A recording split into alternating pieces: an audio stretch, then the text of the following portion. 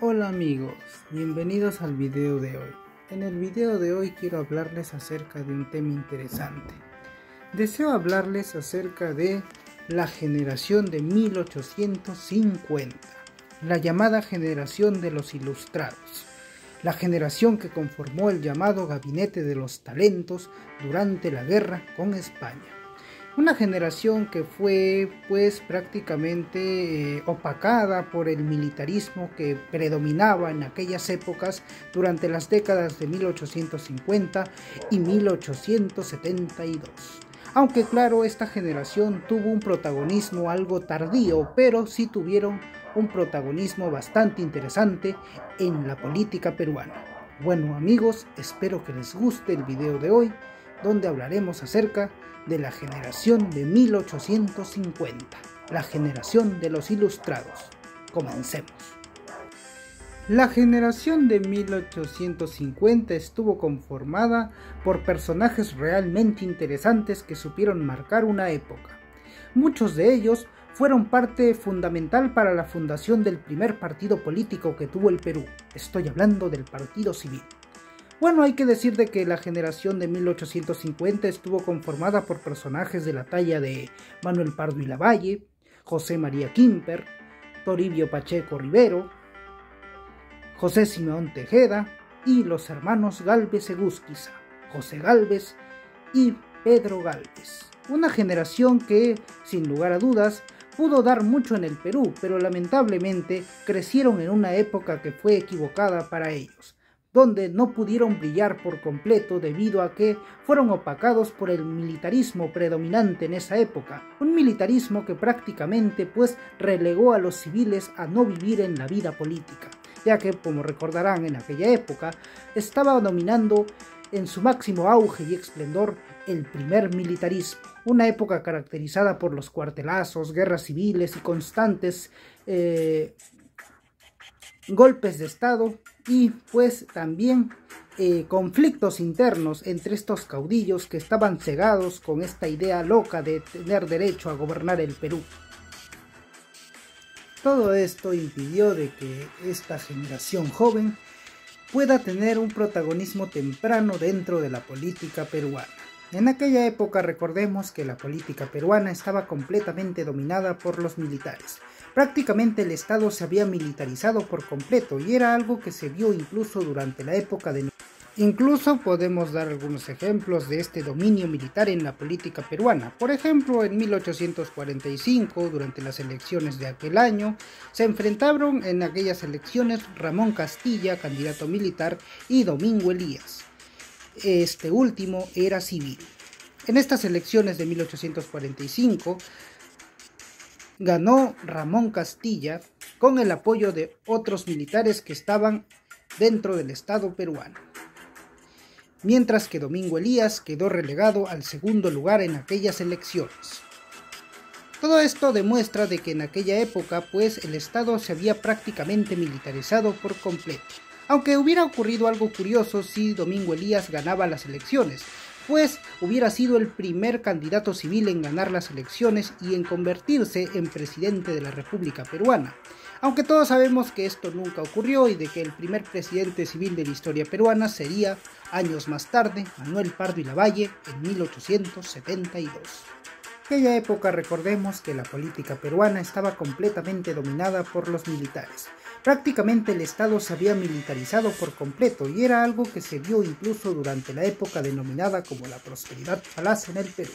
Una época donde se gastó prácticamente todo el dinero del en la burocracia militar, pagándose sueldos altísimos, sueldos vitalicios y condecoraciones a militares que habían participado en la guerra de independencia. Además que durante esa época también se dio una alta, eh, un alto crecimiento de la corrupción en el Estado peruano principalmente después de la ley de consolidación dada por el gobierno de Ramón Castilla en 1850, lo que generaría el escándalo de consolidación de la deuda en 1854 durante el gobierno de José Rufino Echenique, uno de los más inescrupulosos y corruptos de nuestra historia.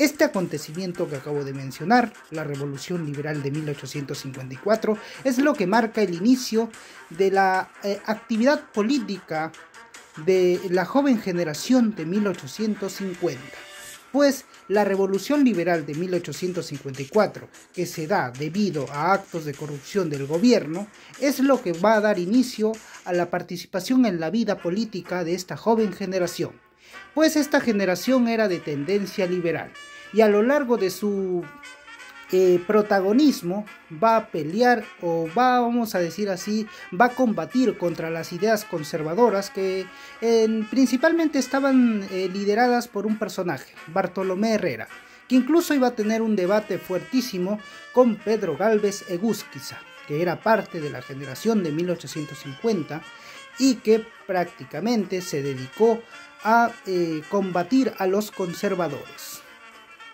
en el plano intelectual, claro está. Pues de esta manera la generación de 1850 va a tener participación activa en la política peruana después de la Revolución Liberal de 1854. Como ya dije, la generación de 1850 era de tendencia liberal y estaba combatiendo abiertamente en el plano ideológico con los conservadores que estaban metidos en el Estado peruano. Incluso estarían involucrados abiertamente y participarían en la firma de la abolición del tributo indígena y la esclavitud en 1856. Pero su momento de más protagonismo y auge y esplendor llegaría en 1865 con la guerra contra España. Allí el presidente Juan Antonio Peset es derrocado al mostrar signos de debilidad ante una inminente guerra contra España. Entonces llegaría Prado, Mariano Ignacio Prado, para derrocarlo mediante una revolución y ponerse en la presidencia.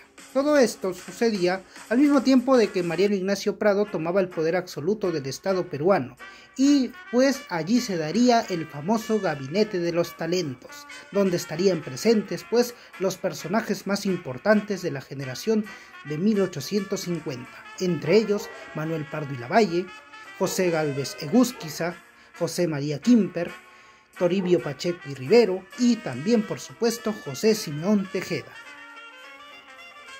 Después de la guerra contra España y de haber participado de forma destacada en el Estado peruano y en el gobierno, la generación de 1850 comenzaría a perderse. Comenzaría, pues, de una manera algo triste, a ser derrotada por el sector conservador y por el sistema y también comenzaría a perder integrantes. En 1866 el primero en irse sería José Galvez Egusquiza, quien murió en el combate de 2 de mayo en 1866 durante la guerra contra España, siendo recordado como uno de los héroes más importantes que tiene el Perú. El siguiente en irse sería Toribio Pacheco y Rivero, fallecido en 1868. Estas dos pérdidas dejarían pues muy golpeada a la generación de 1850, que aún así seguiría participando activamente en la vida política. En 1871 se fundaría el Partido Civil del Perú, el primer partido político que va a tener el Perú, y sus fundadores principales serían Manuel Pardo y Lavalle y José Simeón Tejeda. Como dato adicional, José Simeón Tejeda sería un personaje muy importante dentro del Partido Civil, ya que incluso sería el personaje encargado de darle la banda presidencial a Manuel Pardo y Lavalle cuando éste alcance la presidencia en 1872.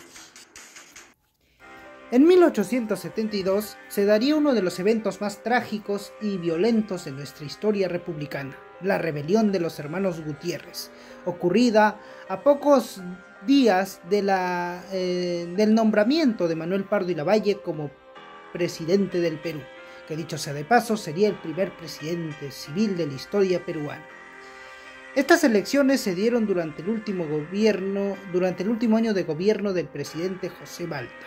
Pero como ya dije, ocurrió algo insólito. Todo ya estaba preparado para que Manuel Pardo asuma la presidencia. Faltaba tan solo una semana para el cambio de banda. De pronto, un grupo de hermanos militares se rebelan contra el gobierno de José Balta, aduciendo de que no convenía de que al Perú lo gobierne un civil. Los hermanos Gutiérrez harían una aparición breve y efímera que terminó en desgracia y tragedia. Este golpe terminó con el asesinato del presidente José Balta. José Balta muere fusilado. Los hermanos Gutiérrez al final terminarían siendo linchados y sus cadáveres fueron colgados en las cimas de las torres de la Catedral de Lima. La muerte de José Balta y el linchamiento de los hermanos Gutiérrez a manos de la ciudadanía limeña significó el final violento del primer militarismo en el Perú, un militarismo que se había caracterizado precisamente por eso, por los cuartelazos, sucesivos golpes de Estado y constantes guerras civiles entre estos caudillos que se habían cegado por el poder y que aún querían seguir viviendo del Estado peruano. Sin embargo, este primer militarismo tuvo un final violento pues se terminó con un magnicidio y con un pues linchamiento de estos hermanos que se levantaron contra el presidente José Balta. Todo esto, todo esto marcó el final del violento primer militarismo en la historia peruana. Respecto al gobierno de Manuel Pardo y Lavalle, podemos decir que su gobierno se caracterizó por tener una fuerte crisis económica, política y social, agravada como consecuencia de los malos manejos del guano durante los gobiernos anteriores a Manuel Pardo. Debido a que estos malos manejos y toda la corrupción que imperó durante la prosperidad falaz terminó afectando al primer gobierno civil de la historia peruana, Manuel Pardo y Lavalle definitivamente llegó en un mal momento al gobierno. Pues podríamos decir de que este civilismo que llega al Perú a mediados del siglo XIX llega tarde, así que podríamos decirte que fue pues una especie de civilismo tardío y que tal vez si hubiese llegado un poco más antes, ¿no? Un poco más de forma temprana a la política peruana, tal vez se hubiera podido salvar de alguna manera la economía peruana que por aquel momento estaba prácticamente por los suelos. Otra cosa que podemos destacar de Manuel Pardo es que cuando él llegó buscó darle soluciones al Perú. Buscó pues tener proyectos nuevos. De hecho, Manuel Pardo y Lavalle tenía proyectos muy interesantes en mente cuando llega a la presidencia pero no los pudo realizar porque pues recordemos de que el Perú estaba completamente endeudado y en la ruina y bancarrota total absoluta. Incluso estábamos inhabilitados para pedir préstamos debido a que ya estábamos completamente endeudados hasta el cuello. Recordemos que durante el gobierno de José Balta se firmó el nefasto contrato Dreyfus que dejó aún más endeudado al Perú. Además, durante el gobierno de José Balta también se dieron actos de corrupción vergonzosos y prueba de ello fue el nefasto proyecto ferroviario a cargo de Henry Makes, uno de los personajes más corruptos que tiene la historia peruana, y también tenemos el proyecto de la construcción del Palacio de la Exposición que tuvo un sobrecosto.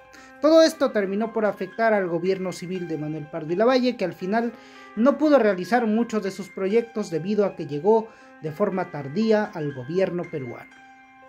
Aún así se dieron muchas cosas interesantes, aunque también es cierto de que en su gobierno se firmaría el Tratado de Alianza Secreto con Bolivia, pero pues esa ya es otra historia.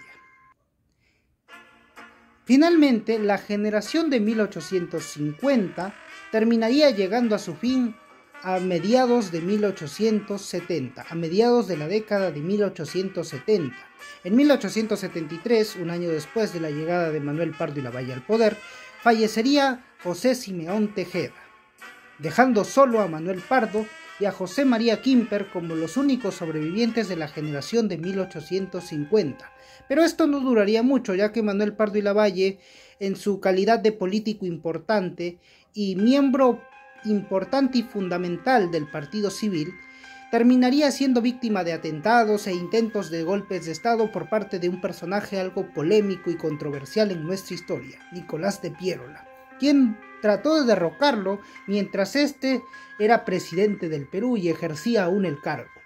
Sin embargo, después de terminar su gobierno, dos años después, en 1878, el 16 de noviembre, Manuel Pardo y Lavalle sería asesinado mientras se dirigía al Senado que cabe precisar y, y cabe especificar de que en el momento de su asesinato Manuel Pardo y Lavalle era presidente del Senado. La muerte de Manuel Pardo y Lavalle fue un duro golpe para la política peruana, pues se perdió a un representante importantísimo. Y de esa manera, con el asesinato de Manuel Pardo y Lavalle, se pone fin a la generación de 1850, siendo José María Quimper el único sobreviviente de aquella generación, que pues lograría llegar a una edad avanzada y longeva para esa época, pero pues terminaría retirándose de la política peruana. De esa manera termina la historia de la generación de 1850. La generación de 1850 termina su recorrido en la actividad política con la muerte de Manuel Pardo y Lavalle, sin lugar a dudas el mayor representante de la generación de 1850 junto con José Galvez Egusquiza. Bueno amigos, hasta aquí el video de hoy, espero que les haya gustado y les haya resultado informativo. Suscríbanse, denle like para más. Nos vemos hasta un próximo video. ¡Chao!